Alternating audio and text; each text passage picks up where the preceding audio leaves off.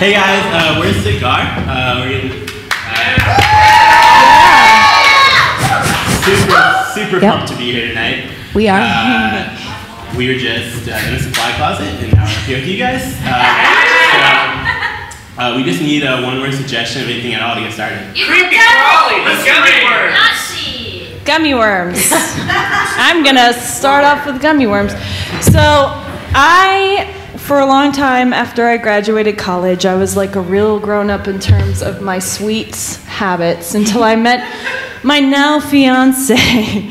And I would say, on average, we consume some kind of sour variety of candy at least four out of the seven nights a week. And I don't know where that habit came from, but we are massive consumers of sour worms slash gummy bears.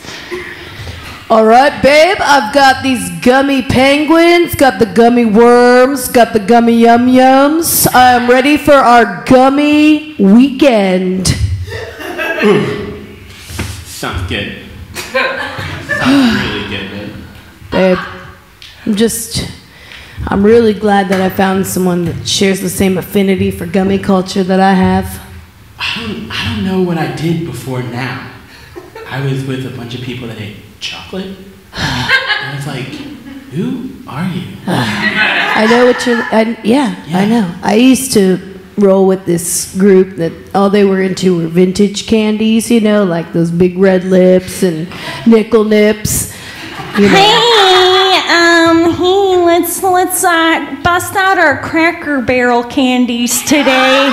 Um, I'm so glad that you took a break from dating, you know, your old snoozy boyfriend and came back to the Vintage Candy Club.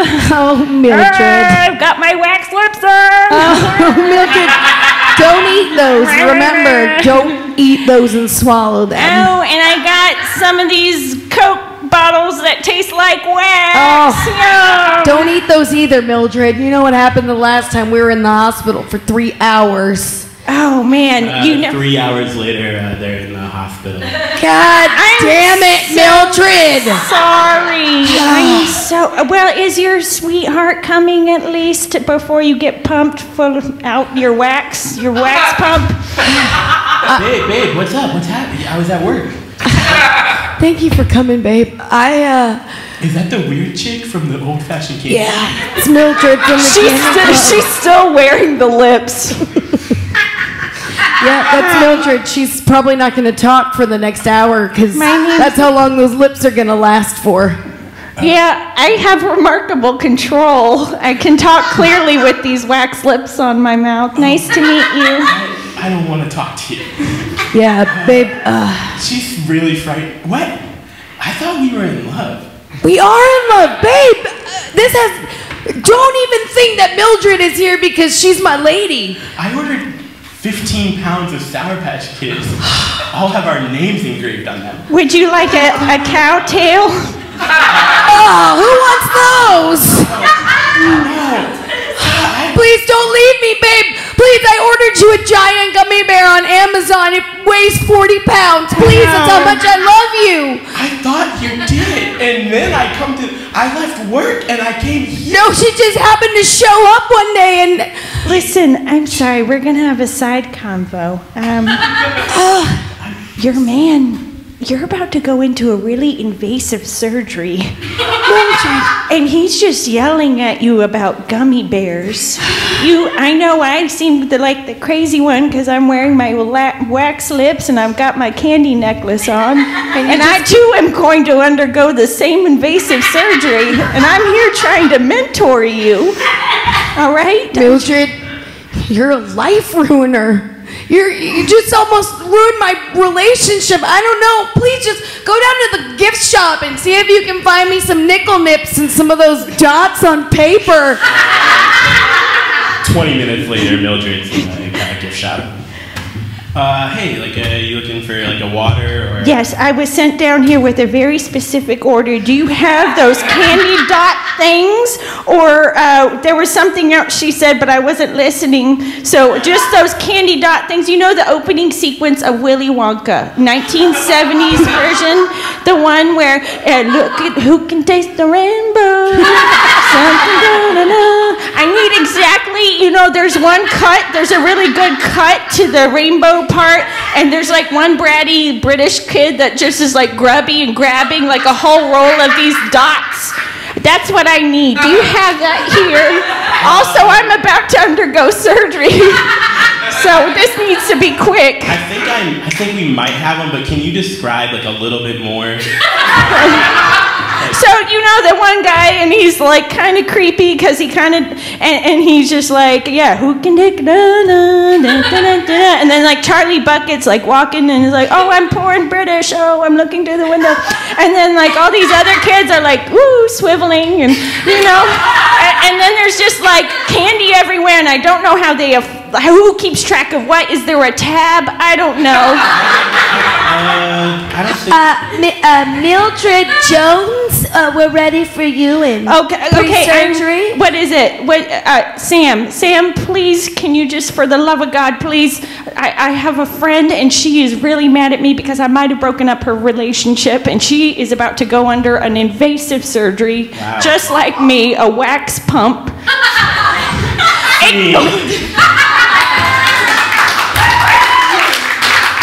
All right, hey, uh, can we get another suggestion, please? Basketball. Uh, I heard uh, basketball. Um, okay, so like in high school, um, I was one of the kids that took gym too seriously. Uh, uh, but I'm, Shocking. I'm, I'm a couple things. One, uh, I'm five foot five, maybe, uh, and two, I'm not good at uh, most sports. Um, so we, I had gym third period. Uh, we played basketball for I don't know, like three months, and um, I was put in the, like the more like athletic game for some reason, and so I would leave gym not feeling good about myself and also like very sweaty. Wait, wait, wait. You said more athletic game? Did they have like two groups? Like one Yeah, that was like the slow group and one that was the like advanced group? Yeah, it was kind of like the, the gifted group and the non-gifted group, but Oh my god. for gym, it was mainly like the teacher's like, all right, they don't care, so they can like go like shoot hoops, or she was like, Oh, or she was like, uh, they're not very athletic. In middle school, I had something like that, it, but it was like the runners club, and so mm. like, oh god, it was so traumatizing. You'd all like gather on the blacktop, and they would like, it was like a roll call, and they would separate you. And I was always in the slow group, and I really wanted to be in the fast group.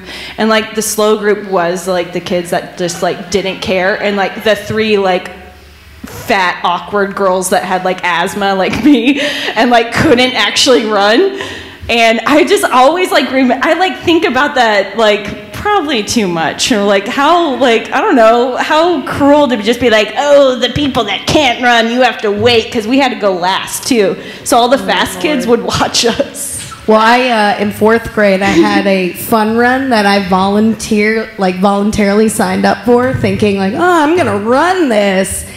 And I mean, I was like short and hyper, and just like I am today. And uh, and so I mean, like just everybody laughing me, and I'm just like. And that's when I found out I had a heart murmur, and I should not do things like that.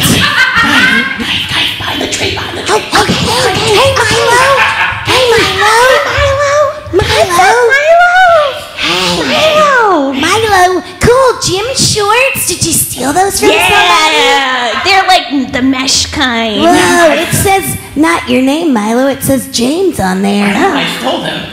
Oh, cool. Hello. Yeah, I know, guys, I know, like they send us on this run, but they don't watch, and so you just go to the behind the street and you just wait here 20 minutes. And then- Is that is that where you, you you're going shopping? You're shopping for clothes and other things that people are leaving in the lost and found? Yeah, I do that sometimes. Yeah, I love that our school is progressive and has a lost and found shop right behind the gym. Yeah. It's so cool, and you can go in there and apparently steal stuff. Yeah, it's not really shopping, it's more stealing. Wow. I don't know. Yeah, What else, Milo? Tell Uh, us. You're living. I uh, order pizza uh, out here. Uh, How you've never invited us? I didn't think you guys liked me very much. Oh my God! Cut, cut to the girls' locker room. Cut to the glow. And then Sarah, What? Milo Yeah. goes and he hides and he goes. You know the weird shop thing that we have for lost and Yeah, found. They resell to the students. Yeah. Yeah. Yeah, he, he steals from it. Or he sometimes he sometimes goes and gets pizza. He orders a whole pizza. Sarah. Such a bad boy. I know. Yeah. Sarah, he's probably gonna order a pizza today. Oh my god. Cut to carpool line uh, with a, an adult mom. Miss Smith. Miss Smith. You know what Milo does? That kid that you always pick on? Yeah. that little shit. Yeah. he goes and he cheats and hides for 20 minutes and he's he's a robber. Yeah, he's robbing from that progressive store slash other kids thing. Yeah. Bad boy. Yeah. And sometimes he can afford to eat out. Yeah. He orders a pizza. Isn't that so cool? Uh, Milo's the uh, cool. cut to uh, the mayor's office. Hey, Mayor. Hey, Mr. Mayor. Yeah, you guys I got this Did you ever somehow. get my letter? Okay. Yeah, we've been writing to you. Um, you know that boy Milo in our class? Yeah, sometimes you. Oh, come on. We've seen you drive past the football field and point at him. Yeah. Oh, that kid? Yeah, yeah. Bad boy.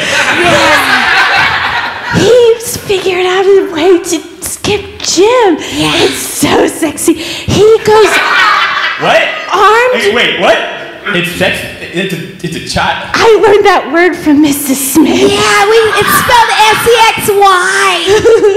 Not an I. She said it in her minivan when she picked us up. Yeah. We heard it. Jesus, this town's going to shit. But he.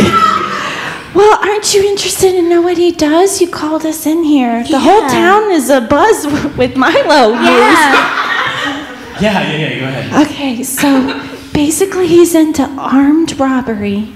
He goes, From a progressive source. yeah, from a progressive source. That's what we're calling it now. Progressive source.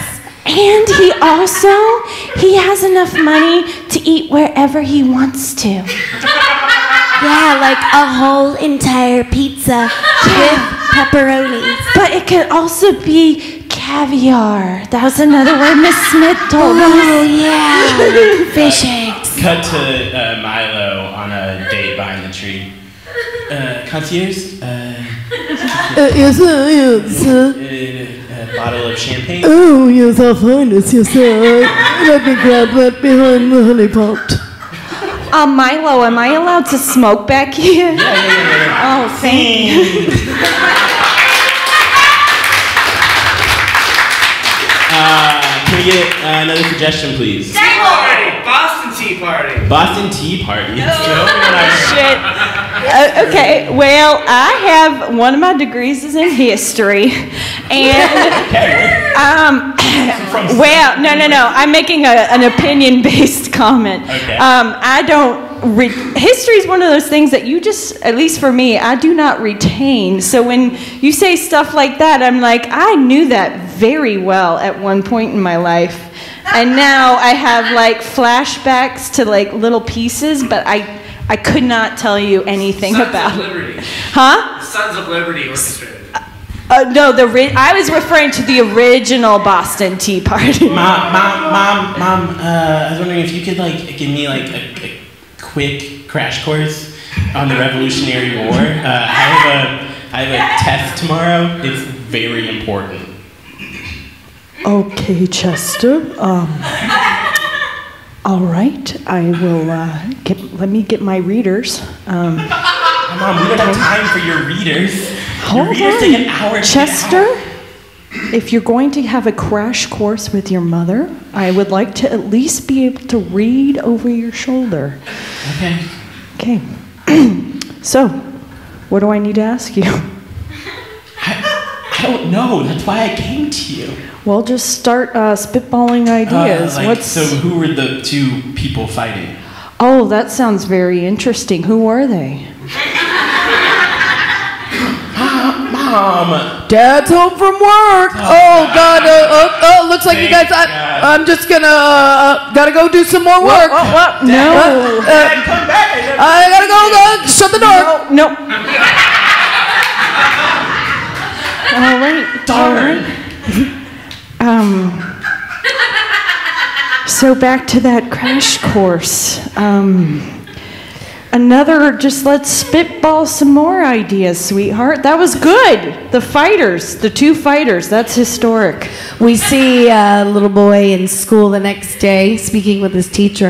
Um, I'm sorry, you think that the two samurais founded this country? It The was two little It was fighters? the two samurais, but then their honor was greatly shamed. The, So the, they, they the teacher picks up her readers. It's, uh, you're right. No, I have. I have been teaching the wrong history lesson. I'm so sorry. God. Wow. Oh, my mom's smarter than I thought. Your, your mother is brilliant, son. Uh, d- I don't even think I need to be teaching this anymore. Could we have your mother come in to, to class? Maybe sometime this week. Maybe she could give her own spin on things. A herstory? Let's, let's see mom in class. All right, um, everybody, I'm just gonna put on my glasses, They're called- son. You can call them readers, mom. Everyone My glasses. Mom, everyone thinks you're cool already. Just be yourself. All right, and um, all right, let's just uh, spitball, spitball, kids. Oh, Let's, cool. uh, Spitballs. ju- I love spitballs. Yeah. That was the wrong thing to say. All right. Hey, you kid with the spitballs. Yeah? Tell me something interesting about history. Uh, the Battle of Bulge was bloody. Yeah, that's really interesting. What do you like about it? I like that it's called the Battle of Bulge.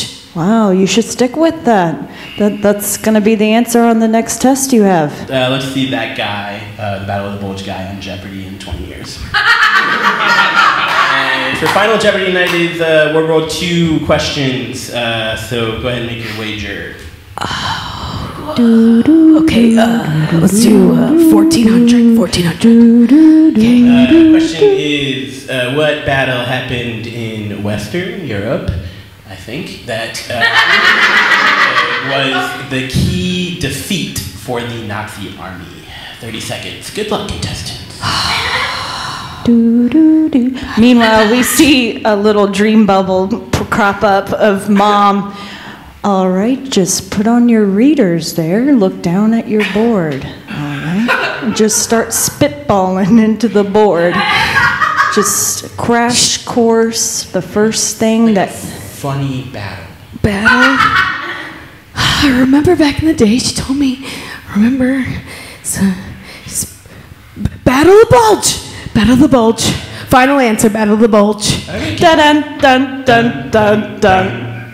All right, Alex. Uh, feel quite confident in this one. Okay, uh, so in uh, third place uh, we have uh, the pride of Bluffton Elementary School, uh, J- John Montgomery. You. Out of the bulge, correct. Uh, good. Uh, still going to be in third place. Uh, scene. Can we get another word, please? Cardinal. Car rental? The twist, like the dance. Car- would you? Cardinal, but Card, cardinal? Cardinal. cardinal like a bird. Cardinal?